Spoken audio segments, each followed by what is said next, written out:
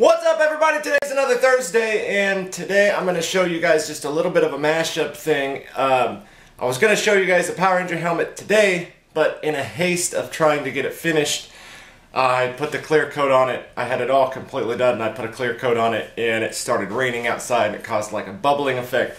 So I ended up having to resand it down and, and restart the painting uh, Tuesday night. And if anybody knows anything about spray painting, you should wait 24 hours before taping things up. Uh, and in my haste to try to finish it by today, I went ahead and tried to tape it up within like after like 12 hours or something like that. And I ripped up some painting, had to do some touch-ups and stuff. And I just don't feel right about it. It was so much better before than it is right now. So I want to get it back to where it was before and still have a chance to get that clear coat on it. So not doing it today allows me some time to let the paint dry. I'm going to give it a few days and then I'm going to put a I'm going to touch up the parts that still need to be touched up put a clear coat on it, and then put the visor in and stuff. And the visor, I don't even have the sets on the inside, and I didn't have the cushion put on the inside yet because I wanted to finish the outside first. So I was unable to get that done today. That's what I really wanted to do. So instead, I'm wearing my gold-blooded shirt because I'm going to show you a few things that uh, I've printed off that aren't necessarily cosplay uh, one I made myself, another one I printed off to kind of make uh, my own. It's not finished. Uh, then I want to show you guys some TPU parts. And then don't worry, I'm going to show you a cosplay item all in this one video uh, that's that I'm not going to touch. I'm not going to uh, I'm not going to paint it or anything like that. I just want to keep it in the regular filament uh, because I, I just like how it is. And maybe in the future I'll I'll finish it up. I'm just not quite sure. I like it the way that it is right now and I really don't want to do anything to it. Uh, so let's get started! These first things that I want to show you guys today, I'm going to put this up here and this right here for now. This first thing I want to show you guys right here, I just got it finished the other day. This is a design that I made. Uh, it's a fantasy football. That's why I got the gold-blooded shirt on. I'm a Niners fan, 49ers all the way through. And uh, even though we suck again.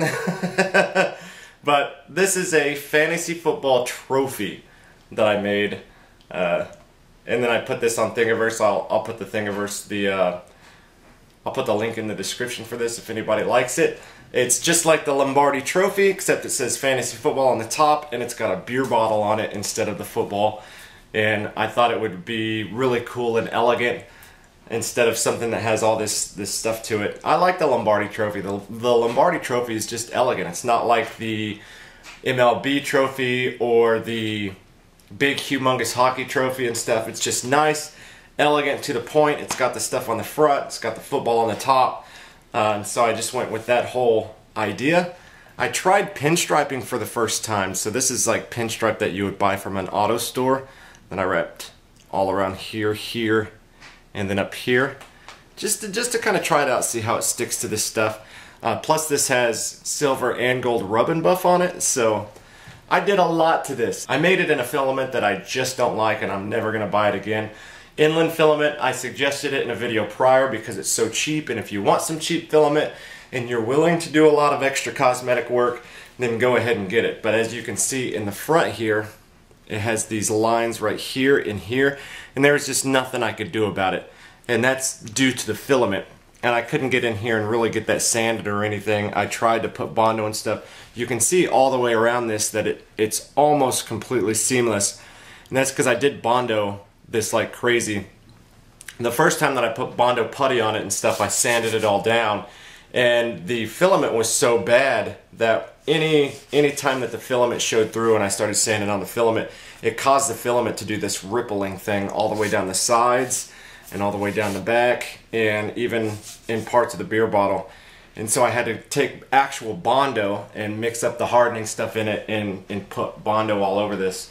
And there's just a little, a few little spots down here and then right in here because it's between both the letterings uh, that I didn't get. So this, I am positive, with a good filament, would turn out perfect and great. It wouldn't take a whole lot of time. This took way too much time uh, for me. I should have just reprinted it and just simplified it and eventually finished this one itself. But I was determined to get this one done. And I've already got somebody that's in a fantasy football league. I'm not in a fantasy football league this year, but I love fantasy football. I typically get in a fantasy football league, but I didn't. I didn't this year. Um, but I've already gotten some requests from people in in fantasy football leagues to get one of these trophies because they like them so much. So if you're a football fan, leave me a comment in the comment section of what sports team you like. Uh, football, if you if you don't like football and you like Major League Baseball or something like that. Uh, I love talking sports and stuff, and I know that we don't ever talk sports on this channel. It's drones and cosplay 3D prints, uh, and so I haven't shown any sports stuff, but sports is another passion of mine, just like it is so many people in America. And so definitely leave me some comments if you guys would like, and, and if you're a 49ers fan, you just heard about the Garoppolo going down for the season, and, and, and you're a 49ers fan or something, and, and want to discuss what you think the 49ers are going to do about the quarterback situation, I'm all about it. I'm all about it leave a comment. But uh, anyways, I'll leave that link in the description. Designed it myself. I'm super proud of this. This is one of the first prints that I've done that I've that I made 100% from start to finish in Tinkercad, and put it on Thingiverse, printed it out myself, and then actually finished it and stuff. So, uh, love this thing. Love this thing. Super Bowl fantasy football trophy. To go along with the football trophy I I actually found this football helmet on Thingiverse too, and I'll leave a I'll leave a link to this in the description as well.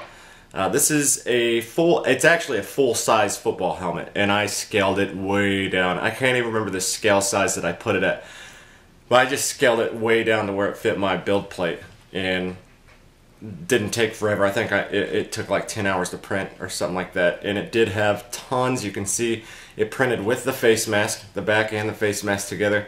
Printed with tons of supports. The supports broke the uh, the face mask itself, but uh, it wasn't hard to fix and stuff.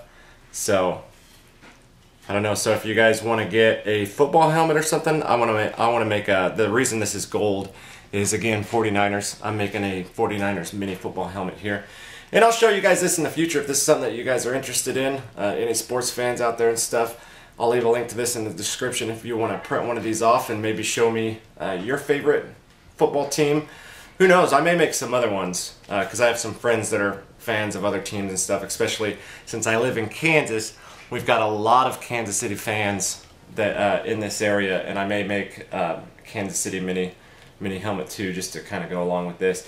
And they got my boy Alex Smith. Even though they traded him off, they had him for a while, so so got a little bit of respect for KC. And and above all, they had Joe Montana on their team for a while, and he was, of course, one of the arguably best 49ers quarterbacks in in history, and arguably probably the greatest quarterback of all time. We can argue that about Tom Brady all you want to. Just leave me a comment. I don't I don't care. We can we can start that argument. but I thought this was pretty cool. So I'm, I'm showing you guys these to show you that uh, it's not just cosplay stuff that I print. I print all, all sorts of stuff outside of cosplay as well. Uh, I just like to have fun with it. Just like I think I may have showed you guys, you know, the, the skull. And I've got some owls that I printed for my wife and stuff like that. So there's there's plenty of things. It's not just, you don't just have to get a 3D printer and print these awesome cosplay things that we print, but there's there's several other things that are just as cool, just as cool. And if you're into the hobby, you might as well. So I've debated on making a full size since if you look at this, I mean it's just a helmet, right? It's just a helmet. And you could actually, I'm almost positive that this face mask is supposed to be separate from the helmet because I mean it doesn't touch the helmet at all except for the spots where it would typically connect to the helmet. So I bet you you could you could uh, easily go in and remove the face mask and print it separately. And just like any of these masks, these helmets here, I could print a full helmet. This is going to be a really cool 49ers one once I'm done, and you guys will eventually see that on the shelf. Second to last thing that I want to show you guys is, now this is a cosplay thing, but I just kept it in the regular filament. I haven't done any updates and stuff to it. It's the gun, stand, and bullets of the Hellboy gun. Now, I think, if I remember right, and I don't watch all their videos and stuff, but if I remember right, I, I think 3D Printing Nerd printed one of these as well. This is at 100% scale. All this is at 100% scale. Um, this comes off of the stand here. I'll just show you guys the stand real quick. real close with the bullets. It's got, looks like shotgun shells here and then regular bullets here. So, uh, and then these little things that stick up aren't connected to the stand itself. Uh, so you have to glue them in and stuff, but that's the stand. Here's the gun. I printed it in white PLA. I think it's uh, Solutech white PLA. And it didn't take very long to print at all. It's a bunch of really small pieces. Like this is a separate piece. This uh, thing that goes all the way through to the other side. Uh, it's got plenty of them. It's got another one right there. And I think it's got a little tiny one right up there. Uh, this pops up on the top and that pops forward. So there's this piece here, this piece here. Uh, the trigger is a separate piece. This is a separate piece. This part right here is a separate piece. This part, and then the handle. And then uh, I, I had to go in and get a new handle and had to go find this piece. There's also a chain that you can that you can print to this, but it didn't print that all that well. And it mine doesn't print these real thin things like this real well, so I didn't go ahead and print the uh, chain to it. But I'll leave a link in the description to this. There's all sorts of remixes to this. So I'm not going to leave all of them. I'll leave the, the link in the description to the original one. But even in the original one, I, all the original stuff from that link is on here except for the handle. Because I printed off the handle to the one in the link and it actually didn't fit on here. The, It wasn't, it wasn't right here. Because this right here, the, the hammer is a circle that goes all the way around and then this handle part glues up onto there and it, it has to have a divot inside to fit the trigger, the circular part of the trigger. Uh, but the, the, the file that's in the link in the description, uh, the handle doesn't. It's just straight across and so actually wouldn't fit up on there. So I had to download a completely different one uh, one that has this on it. You can also download one that doesn't just have this on one side, but has it on both sides. Uh, they've also got a remix to to put, there's a, a, little thing that comes up right here on the side uh, that pops this to the side and allows this to go up and stuff. There's all sorts of other stuff that goes to this. So if I was you, I would go to the link in the description for this and then look at all the remixes in order to make yours if you're planning on making one because this is this is pretty cool. And even if you're not a Hellboy fan, that's an awesome gun. It is. It's just it's a hand cannon. This thing is gigantic. You can get the barrel that's that goes all the way through that has rifling and stuff in it. You can get uh, this here. See, mine doesn't go all the way through from the original file, but you can get the ones with the holes all the way through. So you can take so you can take the bullets and actually put them in here and see them through but you can't actually put my bullets in here I mean they fit to a certain point but that's about as far as they go so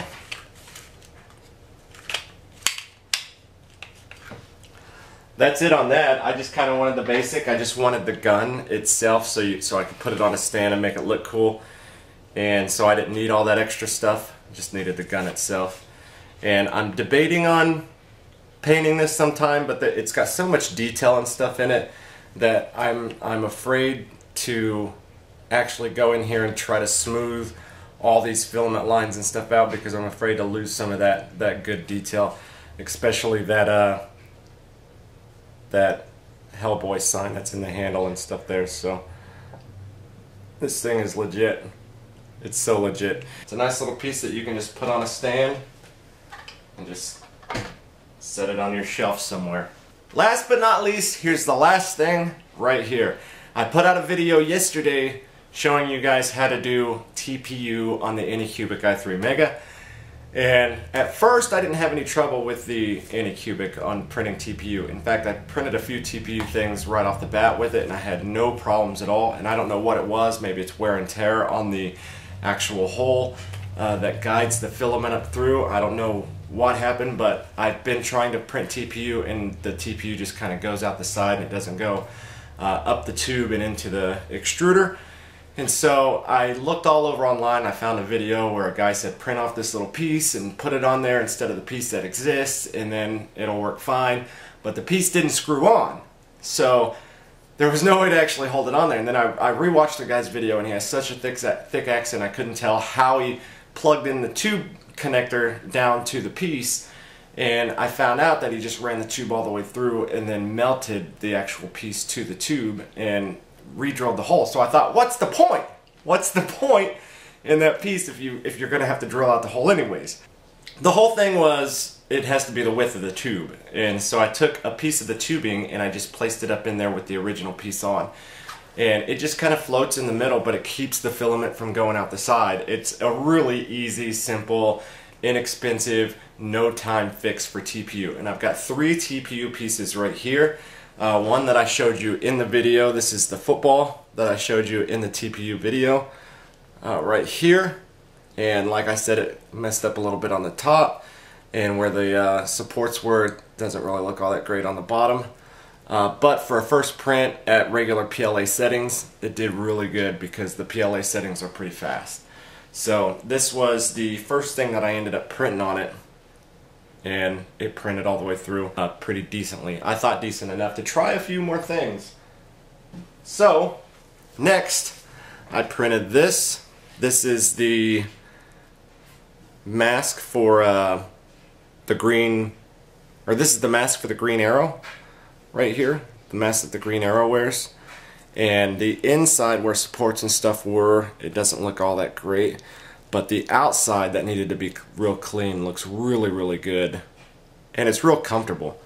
Like I can actually pop this bad boy on. And it's so like flexible and comfy on the inside that even though it doesn't look all that great, it still works pretty decently. With a hat on it stays on pretty good. So, and you can push it all the way up and it kind of form fits to your face. If I were to uh, since it has the same properties of PLA and it print and it melts at a very low temperature, I could take a uh, a hair dryer and really heat this thing up and form fit it to my face. So if you guys wanted a mask or something uh, and had any Anycubic, this this thing's pretty cool. So pretty legit. And the last thing that I'm going to show you guys, this is I slowed it down just a little bit and I let it kind of take its time and this is one of the forearm pieces to the Winter Soldier arm. I'm printing the Winter Soldier arm right now because it, it is TPU and it can bend and smush and all sorts of stuff. And I had to like slice one side down so it would fit on. But this thing is super comfortable. It's printing the other part of the forearm right here and then it's got this part, the shoulder part, and the elbow part uh, that it's got to print off. But if you take a real close look, that printed really, really good. It's real shiny, really good. So this is a future project that's going to come out. And I think I'm going to do the new arm that's in the uh, Infinity Wars because it's more of a blacker color. And then in these divots, neither of the arms have this deep of, of uh, divots in it these right here. It has smaller ones. It has more and smaller ones. Uh, so I'm going to do with what I've got. And I'm going to put gold and stuff on the inside. And probably put some, uh, maybe some rub and buff on it to give it a little bit of more of a silvery sleek shine to it or something like that. Uh, so it looks more like the Infinity War arm. Because both the arms kind of look the same. They have the same basic structure and design to them. Uh, you just got to kind of pick which one you want to do. Uh, so I think I might be doing that one. I'm not sure if I can find a uh, flex fit that's silver and it would go on here really nicely then I may do the original one because I really like the big Russian red, red star that's on it. So, anyways, this has been a pretty long video. Hopefully I've satisfied your guys's uh, want for 3D prints even though I didn't get the Power Rangers helmet out today. I really wanted to get it done today but I tried to show you uh, a few things that I'm not only working on but that I've gotten done uh, and then I've previously worked on and things like that. I've, i showed you guys a finished product, uh, a couple products that I'm working on, one that I'm not going to finish, and then the one that I'm just printing right now. So, uh, keep joining me every Thursday. I'll be back with uh, more Thursday cosplays. Uh, I apologize that I didn't get you a finished cosplay thing today. Uh, but like I said, the Power Rangers one should be done by next Thursday. I've been working on this thing for so long, but it's well worth it because it's supposed to be a really nice looking helmet. Every time that he morphs, it's like a brand new helmet all over again. Uh, and then, hopefully, after that, we'll be able to do the uh, Winter Soldier arm, and I'll be able to put all that stuff on. So, I gotta figure out how it all goes. So, I don't know. Do you think that's gonna be too big for my... No, it's just about perfect. Just about. Just a little bit of overhang but we'll figure that out. My name is Bryson Michael RC. Hit that subscribe button, leave me a comment like I said earlier, and we'll see you guys next Thursday. Bye.